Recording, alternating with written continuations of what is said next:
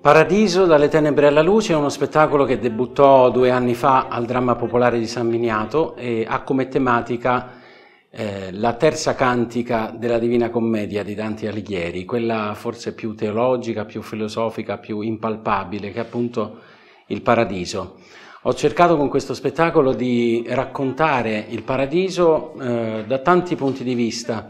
quello antropologico, quello filosofico, psicologico, fino ad arrivare a um, riflessioni che riguardano tutto ciò che è invisibile intorno a noi, l'immateriale e quindi la spiritualità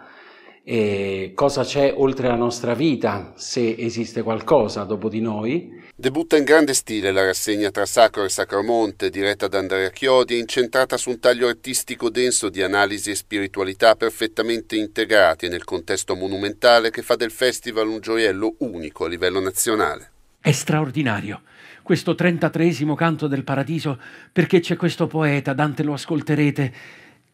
questo poeta che continuamente sembra scusarsi, scusarsi con ognuno di noi, dice scusate, non ce la faccio, veramente ce l'ho messa tutta a scrivere, ma